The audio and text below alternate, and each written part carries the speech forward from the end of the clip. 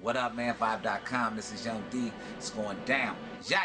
Vibe sat down with up and coming MC Young De to talk about his rise as well as his current projects and travels. Really, I got my start in Philly with a group, met Kurupt, moved out here. From there, I met B-Real, and then from B-Real, I met Xzibit. My brain waves on the same page as the cellulus. I'm bringing back intelligence from space, from the heavens that'll take us up into a high place. I feel like I definitely earned it. It's been a long time in the making to even get to this point right here, and I feel blessed to be able to, you know, be a part and do the things that I've been doing. I got to see the almost the whole world like three times over and rock in front of all kinds of people and just get my name out there, man. Spread the word, you know, be a part of of you know hip hop. And he's following the path of some of hip hop's finest who helped him along the way. When I hear stories from Xzibit and and, and Cyphers about how they got on and, and you know it's a traditional way that you keep hearing from people who've been doing it, it's like I feel like I'm getting on the same exact way. So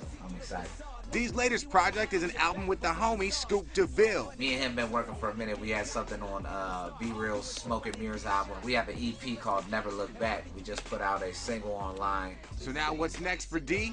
Some serious travel plans. I'm about to go with Mr. X to Z to Iraq. Man, it's gonna be hot. My mom's was in the army, my aunts, my uncles, you know, my step pop. I come from a military background. It's dope because you know it's all for the troops and um, it's really a once in a lifetime experience.